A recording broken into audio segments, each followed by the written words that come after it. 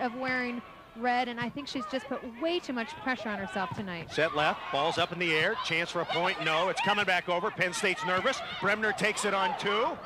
Penn State bumping into each other. It's coming back over the net. Bremner, who does she set? She goes to Schonveld. And Schonveld got a touch. Point Penn State.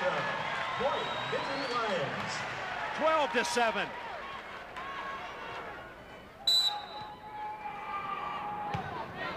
Now just three points away are the Nittany Lions out of the back row. Logan Tom sails it long. And Russ Rose's squad. How do you stay calm? Getting closer now. Russ as calm as he can be at the moment. 13 to 7.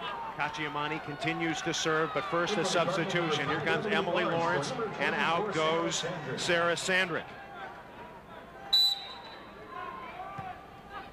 Penn State serving in game three. The ball hit into the net, and Penn State has come to the brink.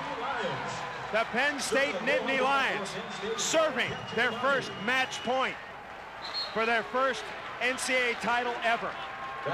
Yamasaki is back in. Cacciamani will serve it. Russ Rose trying to throw that monkey off his back.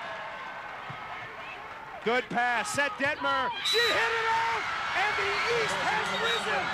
Penn State wins its first NCAA title ever.